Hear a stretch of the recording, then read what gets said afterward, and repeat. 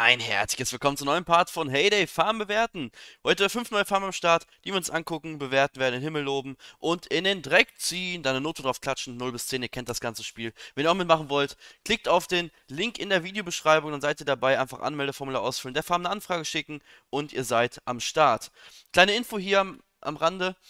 Ähm, es wird jetzt häufiger Farmbewerten kommen. Das ist ein kleiner Farmbewerten-Marathon, weil ich werde jetzt sehr wahrscheinlich diese Woche und auch die nächste Woche bzw. den ganzen Mai in eine Zelda-Sucht verfallen, die keinesgleichen kennt. Also wenn ihr dabei sein wollt, schaut einfach auf Twitch vorbei. Ich werde das auch streamen, werde vielleicht auch das ein oder andere Video dazu machen, denn Zelda hat ein neues Spiel rausgebracht und ihr wisst ja, ich bin richtiger Zelda-Fan. Genau, genug Zelda. Jetzt hier weiter mit Farm bewerten, deswegen werden jetzt ein paar Farm bewerten Marathon-Videos hier kommen. Die wird sehr wahrscheinlich auch noch auf Twitch aufgenommen werden haben. oh Mann, was für ein schlechtes Deutsch. Egal, ihr wisst, was ich meine. Wir fangen an mit Marco. Hier Level 48. Klein, aber fein. Er schreibt doch was. Er schreibt, ich kaufe eigentlich voll wenig Dekos. Die meisten sind entweder erworben oder Gutscheine. Würde mich freuen, wenn meine Farm mit dabei wäre, auch wenn sie im Vergleich zu den anderen ein relativ niedriges Level hat. Ja, danke Marco erstmal für die Bewerbung hier. Und natürlich kommt jeder dran, der sich bewirbt. Ihr müsst mindestens Level 30 sein. Dann seid ihr dabei. Ob ihr jetzt niedriger seid als, ja, ich oder irgendwer anders oder als Maui, die gleich noch hier im Part kommt, dann äh, ja, ist halt ist halt so. Okay, Marco, aber trotzdem hast du deine Farm schon echt gut dekoriert. Ähm, gefällt mir schon sehr, wie du es aufgebaut hast. Natürlich auch der Triggerbaum hier leicht im Fokus, der hier bewässert wird von dem Fisch. Ein ganz gutes Detail, was du hier aufgebaut hast. Kerzenmacher relativ versteckt, so muss das sein. Der Kerzenmacher darf nicht ans Anblick dieser Welt kommen. Und ansonsten finde ich deine Farm echt recht gut aufgebaut. Du hast die Tiere getrennt, du hast verschiedene Arten von Dekoration benutzt. Du hast die Deko, die du hast, sehr, sehr gut verwendet. Hier mit dem Zaun und dem Baum. Äh, und also der Zaun-Baum-Kombi, die passt hier sehr, sehr gut. Was ich natürlich nicht gut finde, hier zum Beispiel der abgetrennte Zaun, der passt jetzt nicht zu dem weißen Zaun. Die Blumen kann man sich drüber streiten. Die Bank da, ich hätte das eher zugemacht, weil wer setzt sich da hin, wenn der LKW da vorbeidüst? Das ist eigentlich nicht so der beste Platz. Dann hätte ich die Bank eher hinter den Zaun gepackt und nicht da mitten rein. Katzen haben hier ein kleines Feld. Die abwechselnden Wege sind auch ganz, ganz gut getroffen. Hier die Hühner stehen zwar ein bisschen im Nichts rum, aber ist jetzt auch nicht so schlimm. Hier eine Bewässerungswindanlage für die Felder, auch ganz gut geworden. Die Heuballen passen ein sehr gutes Detail zum Silo da oben. Was der Zweck da oben hinter dem Baum macht, keine Ahnung. Das ist ein bisschen random. Schweine sind auch ein bisschen lost hier. Hier bei der Mine. Ja, der weiße Zaun kann man sich darüber streiten, aber ich finde die Bäume gut. Die Bäume passen sehr, sehr gut zu dem äh, Minen-Vibe oder Schmelzofen-Vibe, dass die so im ja, eher weltlicher angesiedelt sind. Was der Schneestiefel da soll, weiß ich nicht. Ja, so ein bisschen die Deko, auch wie der Weihnachtszaun, die sind ein bisschen random, also zu random, die dann nicht so dahin passt, die kannst du eigentlich auch weglassen und kannst du eher der freien Wildbahn in den Lauf lassen. Hier, ich weiß nicht genau, warum der Feldwächter ist und der Steinweg auf einmal. Weiß ich nicht. Also klar, du hast jetzt kaum Geld hier für Deko ausgegeben, aber auch hier der Geburtstagszaun. Ich meine, die Deko, du musst jetzt nicht jede Deko, die du hast, unbedingt auf die Farm stellen. So ist das ja nicht und so kommt das auch rüber. Hier auch wieder wie dieser Zaun hier. Du hast halt alles Mögliche, was du im Deko-Laden hattest, glaube ich, hier aufgebaut. Ich meine, hast nicht so schlecht gemacht. Oh, du hast einen Osterhasen. Oh, Markus inaktiv. Eine Osterhasenmaschine hat er noch. Aber ja, so klein, aber fein, sieht ganz gut aus und ich gebe dir eine 2 von 10 für deine Farm. Nächste Farm ist Bonanza. Ja, war das nicht mal auch eine Serie? Ich glaube, meine Mutter hat das recht, richtig gerne ge geguckt. Bonanza. War es nicht mit irgendeiner so Wüste und irgendeinem so Restaurant, was dann irgendwie übernommen wurde von einem, dann wurde irgendein richtig beliebter Charakter erschossen? Boah, ich habe das noch so irgendwie grob im Hinterkopf, wo mir meine Mutter davon erzählt hat und ich so. Meine Mutter war richtig traurig, als der, als der Typ, der erschossen wurde. Aber hieß, war das Bonanza? Boah, da muss ich direkt mal nach einem Part fragen. Ich glaube ja. Ich glaube, das hieß Bonanza. Ja, Bonanza. Level 51. Was hast du hier für uns auf Lager? Sehr. Also, wenn ich dann eine Farm so sehe, muss ich irgendwie an Rechtecke denken. Ganz komische Verbindung, aber du hast es auch re rechteckmäßig aufgebaut. Hier zum Beispiel Rechteck nach oben. Dann hast du hier ein Rechteck nach unten. Und dann hier, ja gut, das kann man jetzt eher weniger als Rechteck bezeichnen, aber auf jeden Fall zwei Drittel der Farm sind ein Rechteck oder ein Rechteckmuster. Ähm, die Tiere mit Blumen umrandet. Hier unten auch relativ wenig Deko. Äpfelbäume, Kirschbäume. Aber ich finde schön, dass du hier die Blumen so umrandet hast. Hier die abwechseln, so herbstmäßig Bäume. Leider nur einmal abwechselnd, aber immerhin. Die rote Mauer, ja, passt eher zu den abwechselnden Farben. Zu den normalen Farben hätte ich jetzt nicht die rote Mauer benutzt, sondern eher so die Hecke. Dann hättest, du solltest vielleicht hier noch mehr abwechselnde Bäume reinbringen. Das wird dann mehr Sinn machen. Zumindest mit der roten Mauer. Der Eingang zum LKW oder zum Haupthaus, ja, ist auch nicht so, so schön geworden. Hm, ich bin ja eher mehr der Fan davon, wenn man das so spiegelt quasi. Muss natürlich nicht gespiegelt sein, aber gespiegelt sieht es besser aus.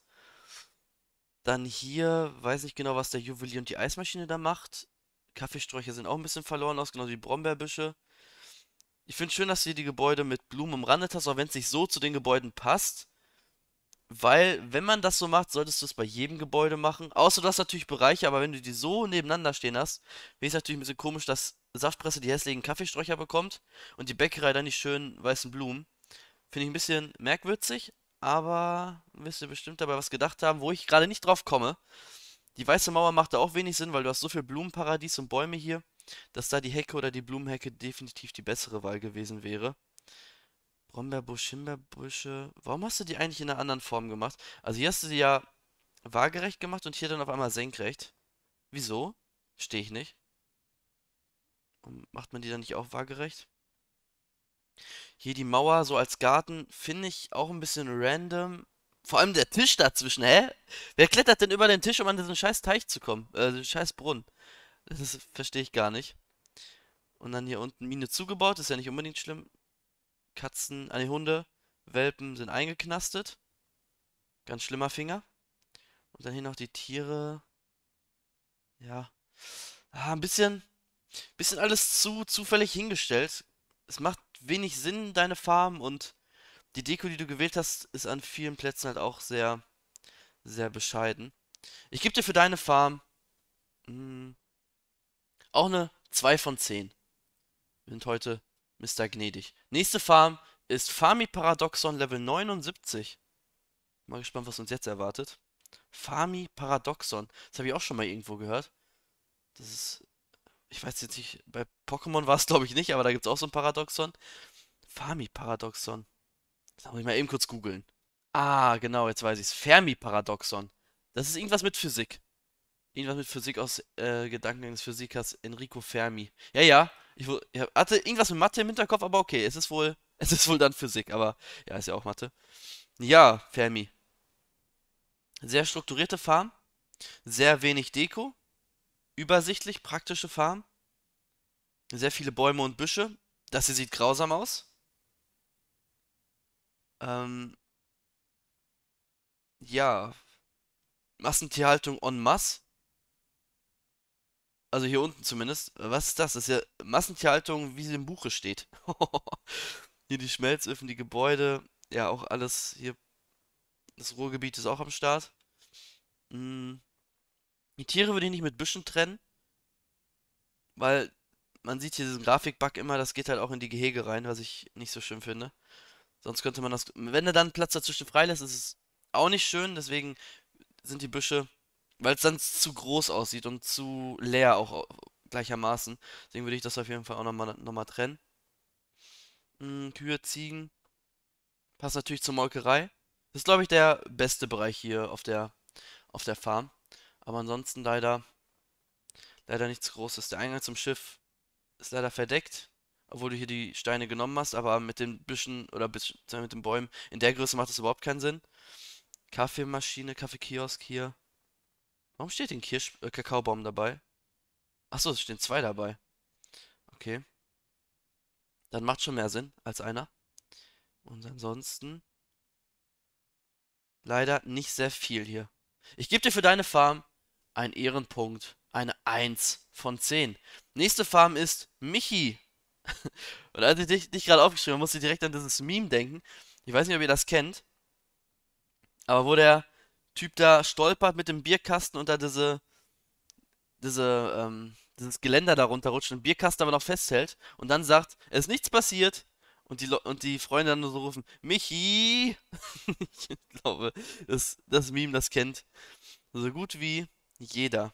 Tja, Michi, was hast du hier für uns auf Lager? Ein Labyrinth? Ah, er schreibt übrigens auch, ich bin einfach gespannt, was du sagst. An sich mag ich meine Farm, aber meistens ärgert es mich, dass ich nicht das umsetzen kann, was ich eigentlich möchte, weil ich kein Echtgeld investieren möchte. Viel Spaß. Okay, die Farm ohne Echtgeld. Ihn ärgert es, dass er es nicht umsetzen kann, was er möchte. Hier so eine Art Standard-T-Design, ne? Ja. Okay, das gucken wir uns gleich mal genauer an. Hier das mit dem Brunnen. Scheune Silo. Triggerbaum. Produktionsgebäude hier mit Blumenhecke. Okay, ganz coole Trellung eigentlich. Und hier dann nochmal ein Pferdeparadies mit Bienen und Eichhörnchen. Mhm. Dafür hast du kein Echtgeld investiert, ist aber eine sehr gute dekorierte Farm. Hier eher so ein Spielplatz, ne? Spielplatz für Tiere. Hm, finde ich gut. Aber ich finde den Kontrast halt auch echt heftig. Wenn man das quasi so als Rechteck nimmt, hast du hier so eine Art Swimmingpool und hier unten, ja, die Katzen. Finde ich dann nicht so passend, vor allem auch mit den verschiedenen abwechselnden Zäunen, wo was in roten Blumen übergeht. Finde ich nicht ganz so passend. Es kommt zwar trotzdem rüber, dass ein Spielplatz für die ähm, Babys hier ist, aber ansonsten, ja, nicht ganz so mein Favorite. Der Eingang hier ist ganz gut gemacht, auch wenn ich die roten Blumen in Kombi mit der Hecke hier auf der anderen Seite nicht ganz so gut finde.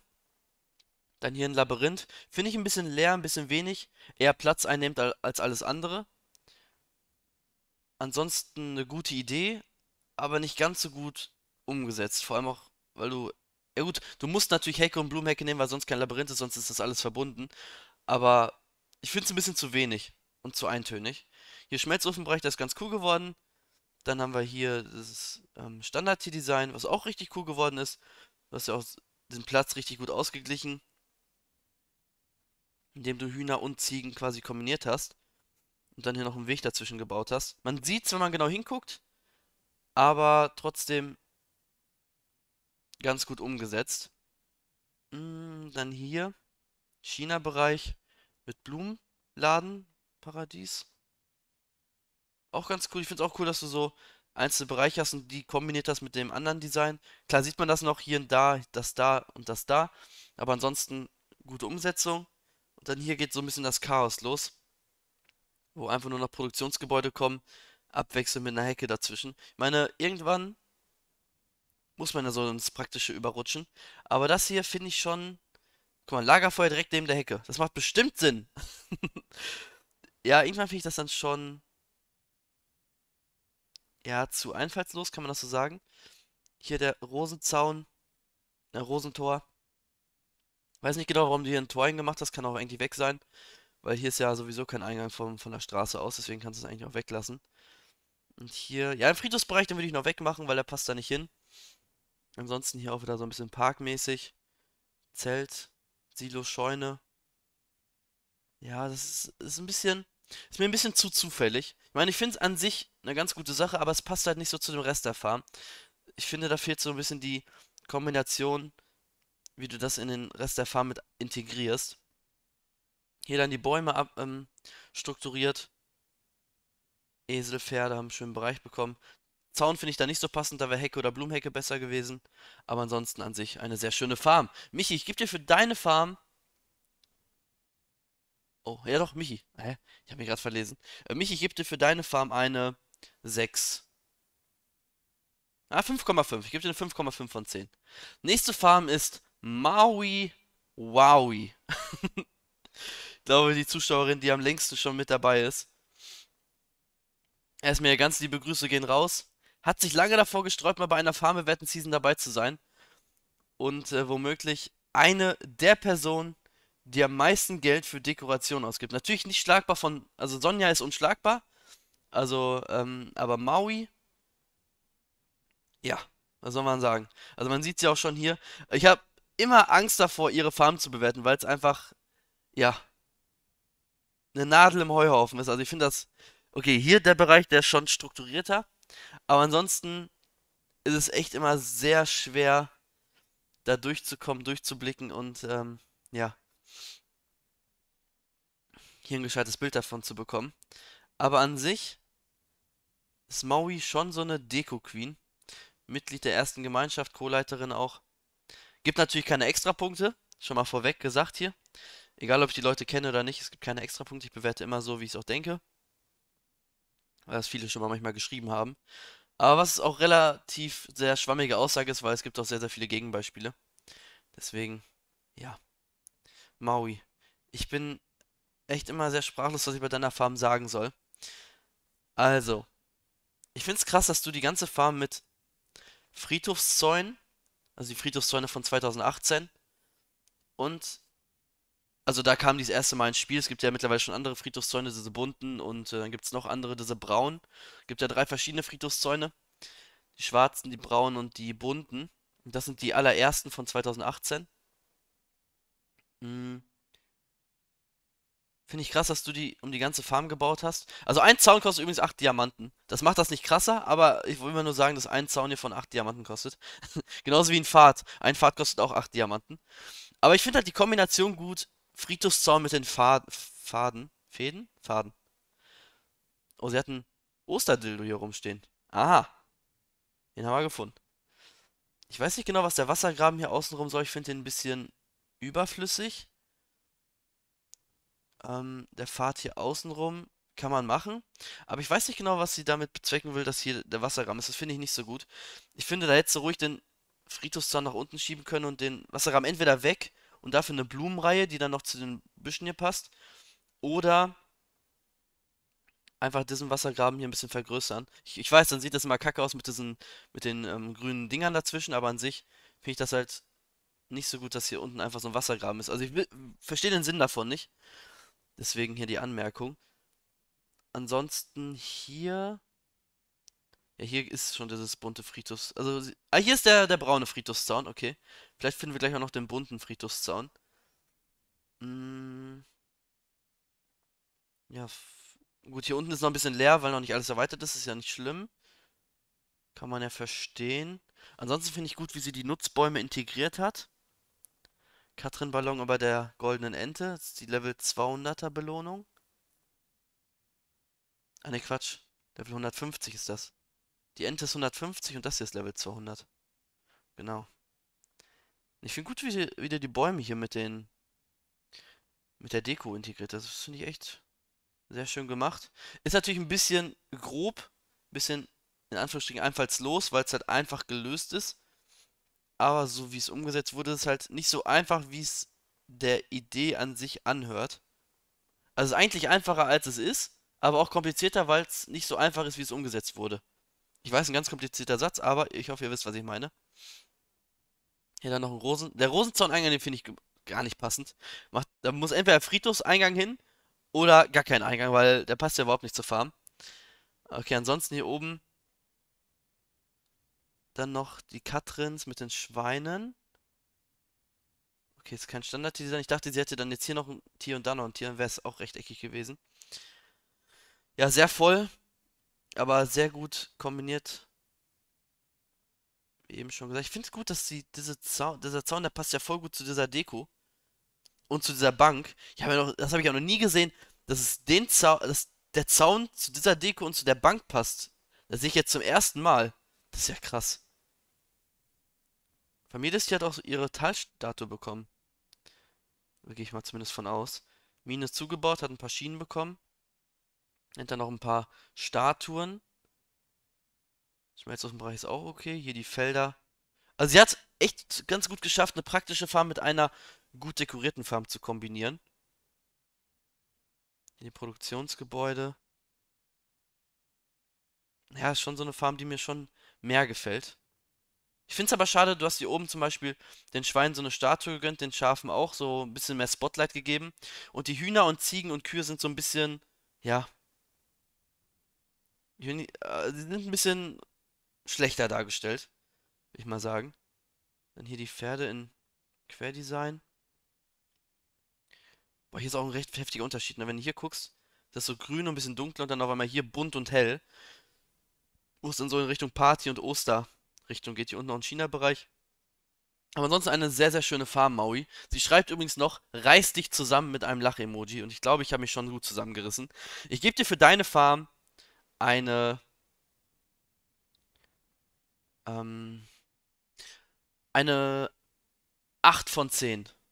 Das ist doch mal gut, oder? Damit bist du auf jeden Fall schon mal mindestens im Halbfinale. Also im Halbfinale ist man mindestens mit 8 Punkten. Das kann ich ja schon mal sagen. Je nachdem, wie die Punkte von den anderen ausfallen, kann man auch schon mit mindestens 6,5 auch im Viertelfinale sein. Es kann auch sein, dass noch die Sechser mit reinkommen, aber das kann ich euch nicht versprechen. Es kommt natürlich darauf an, wie viele wir in den Punktebereichen haben. Also wenn ihr mindestens eine 6 habt, könnt ihr euch eventuell noch freuen. Ab einer 5 ist man, glaube ich, schon raus. Das kommt natürlich darauf an, wie viele wir da in Punkten haben. Ja, das war's für den Part. Wir hatten heute Fami Paradoxon mit 1 von 10, dann Bonanza und Marco 2 von 10, Michi 5,5 von 10 und Maui Wowi Tagessiegerin mit 8 von 10. Danke fürs Zusehen, ich wünsche euch einen schönen Tag. Haut rein. Ciao.